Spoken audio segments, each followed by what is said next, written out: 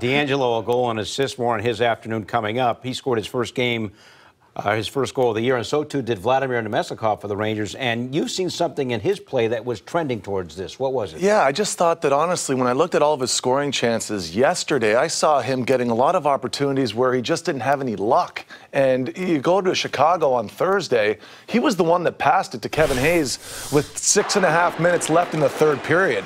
I mean, this is a terrific wait for the better part of the offense to come up the ice.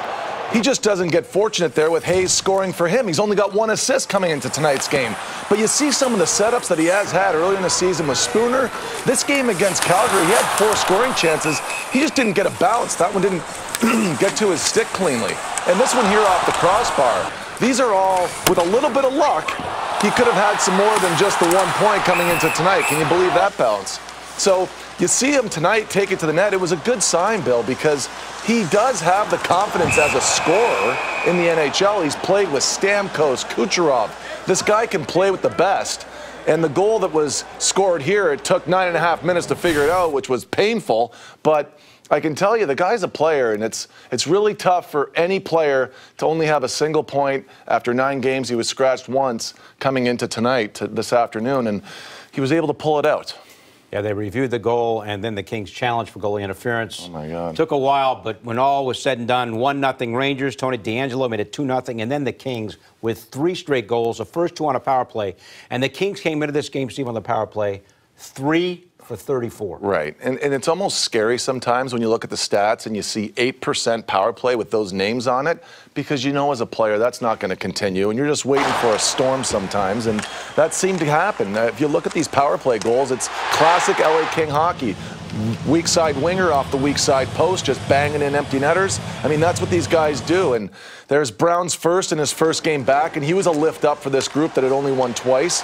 And Kovalchuk is a hired gun. This is somebody the Rangers could have brought in if they wanted to, but they don't want to go in that direction, and because they're going youth, and the Kings are trying to hang on to what they have. But he uh, didn't disappoint. He was flying all afternoon, and this is the final goal right here. You're looking at Lewis again banging it off that weak side post. This is the way this team was built, Bill. They've got a lot of aging stars, but they're very mature with how they position themselves and they're very heavy. They're a big team. And a lot of teams in the West for some time built their teams to be able to combat that. LA is still getting it done that way.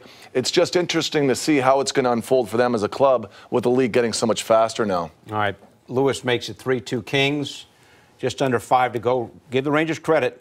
They give up the three unanswered goals, but then they're able to tie it. Tony DeAngelo, the great pass to Ryan Spooner, who also scores his first goal of the season. Yes, and I'm, I'm, glad that Dave agreed with me there because, you know, we're seeing the same thing. As, as a former defenseman, Dave knows that when you're coming out of your zone, it's very important to have a very crisp first pass, and that's what he was doing all night, DeAngelo. And, and to give this really nice sequence a good look here, they last a good 45 seconds before they score this goal.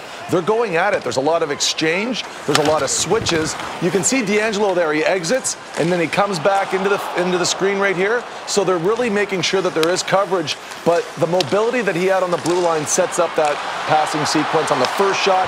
Campbell is a fish out of water here.